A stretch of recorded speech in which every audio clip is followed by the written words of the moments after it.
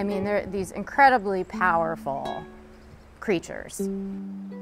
They want to have an engaging relationship with you if you can make that connection. Some of them follow you around like dogs and are sort of like pets and things like that, but others really want to work. They really want to have a job. A lot of them are, are funny that way, that they really they need to have a job or they get bored and they start breaking stuff. breaking fences or injuring themselves or just generally causing trouble. It can take years, but you know, I take a horse that was the minute you'd walk into the paddock, they turn around and just try to kick you. And now that horse comes running to me when I come in the paddock. And you learn from every horse because every horse is so different. The process is different We have five, and we're about to have another one. so we're going to have six by the end of next week. This person had been keeping her two horses at um, a woman's house, and slowly the care decreased over time to where then she wasn't showing up anymore. And so the property owner took a look at the horses, and um, they were still wearing winter blankets in May. And when she took the blankets off, they were basically starved. Animal control reached out to me last week and asked if we could take the older horse. So he's um, 22 years old, he's blind in one eye, he has an injury. He's basically an old guy with, you know, decent manners. And this is far improved from when animal control was contacted. So at least he's been getting fed for like six or seven weeks.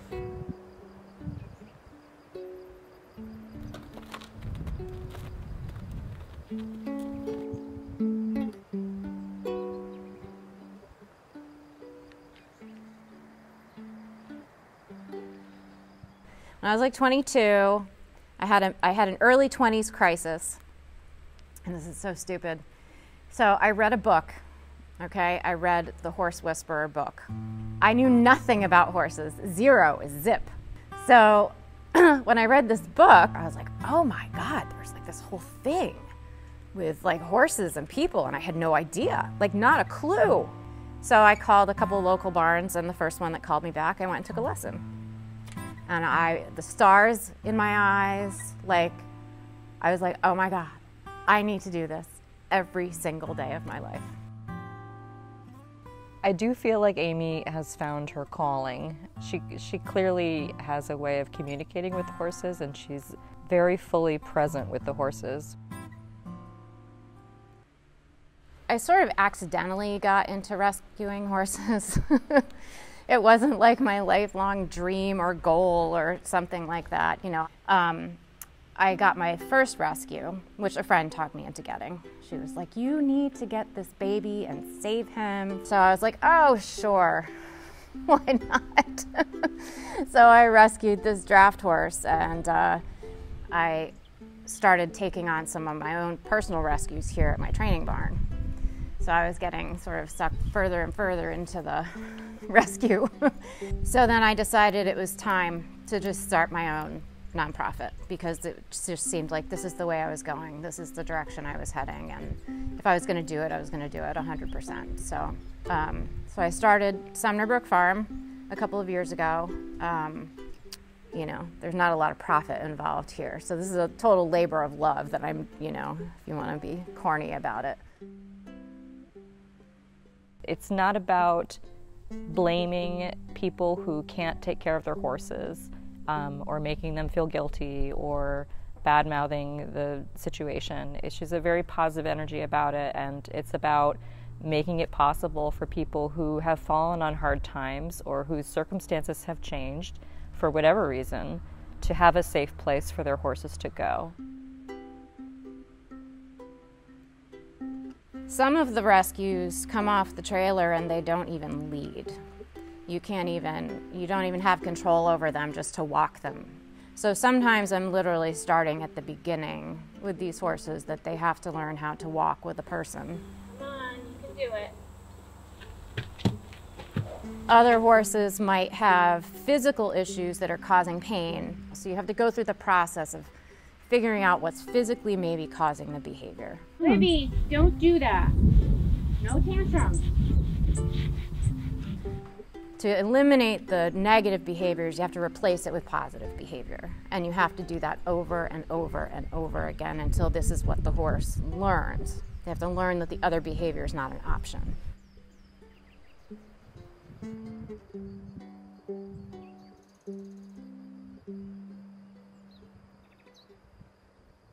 Caleb was part of a larger neglect case in Lyme, Connecticut, where there were 19 horses and various other farm animals that were severely neglected.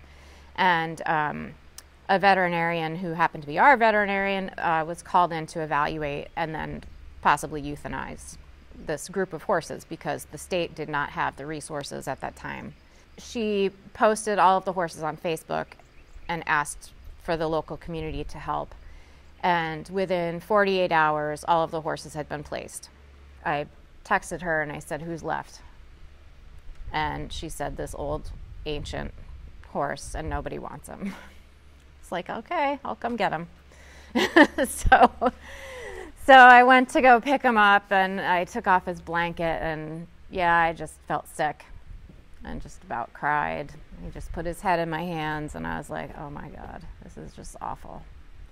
Um, so it was a it was rough first few weeks, and eventually, after about a month, he got strong enough um, to start to be turned out outside. He can't chew hay. He just he has like no molars left. He's down to the gums. Uh, so he eats a diet of soaked everything. He loves it. He thinks it's great. Um, he gained back all of his weight and probably then some. So yeah, he's still it's you know almost four years later and he's still still hanging in there. So go Caleb. so Sadie came to us just about a year ago, actually. Um, she was an owner surrender. The owner had purchased her. Um, she had been a lesson horse at a barn where she was riding. She's got some physical challenges, so rehoming her wasn't really happening for the owner. The owner was diagnosed with a benign brain tumor that was impairing her ability to work full time and still be able to afford the horse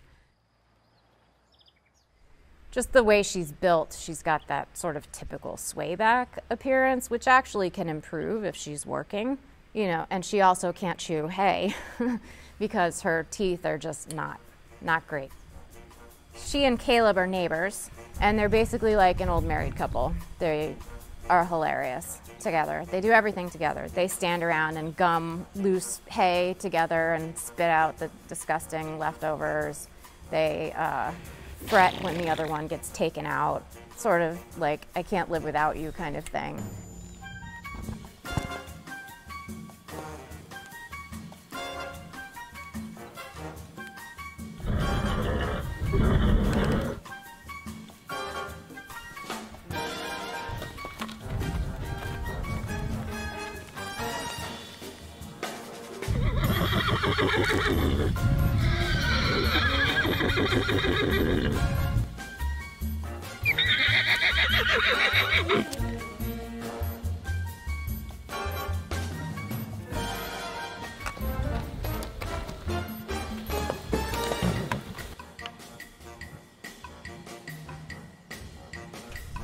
In the spring when Caleb's flirting with all the ladies, Sadie definitely gets jealous.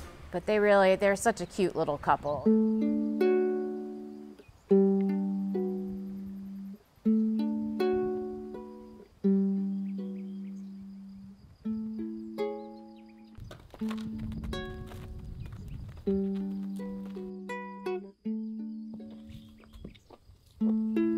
You have to give the horse everything to get what you want from them. You have to be, you know, physically, mentally, emotionally willing to give whatever it takes to get them to come out of whatever they're stuck in.